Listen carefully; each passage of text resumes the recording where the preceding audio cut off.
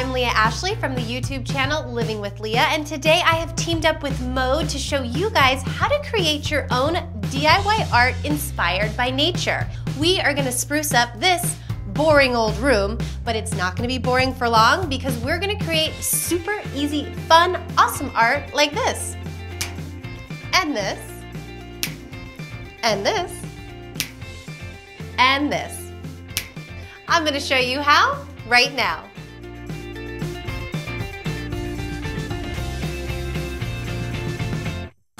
It's very important when you're working with paint to always do it outdoors, especially when you're working with spray paint. You really wanna make sure that you're in a well-ventilated area. Here's what you're gonna need for this project. A canvas. I picked this one up at our local craft store. You're gonna need a mask because we always wanna stay safe. You're gonna need kitchen gloves because this can get a little messy. We're gonna need two colors of spray paint. One is the base coat and one is the top coat, the metallic. Lastly, you're gonna need some leaves. Now, I just grabbed these from the yard. You guys ready to get started? Let's do this. So for me, the first step is to choose which leaves I'm gonna use. So I'm being really drawn to this right now because I think this will look really awesome on our canvas. this is not good for my lipstick. That's why I drew some on there. The first step is to shake up our paint. You wanna give a good shake. And we're just gonna apply a really nice base coat to this canvas. You wanna go side to side motion, about six inches above your canvas, and that'll give a nice, even finish. I like to do the sides of the canvas too, because that just kind of gives it more of a finished look. So now we just wanna let this dry. So it should take probably about five minutes.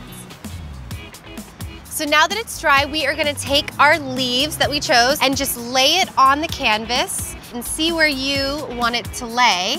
And you can kind of press it into the canvas a little so that they lay maybe a little bit more flat. Now we are gonna put on our gloves because this is where it gets messy. So we've got our metallic spray paint and this is gonna go on top of the entire canvas and the leaves. So I like to go kind of leaf by leaf and hold them in place a little because when you spray the spray paint, it can blow the leaves out of place. And then you're just gonna cover the entire canvas really well. And then we're gonna let this dry. The paint is dry and it is time to reveal our artwork. I love this part, okay. Look at that. Pretty cool. All right, let's go hang them. Well, what do you guys think? I love this project because it is so easy and really, really fun and you really can't mess it up. You can have fun with the colors, with the plants, just get outside and have a good time. That's what it's all about. And for more videos like this, check out Mode.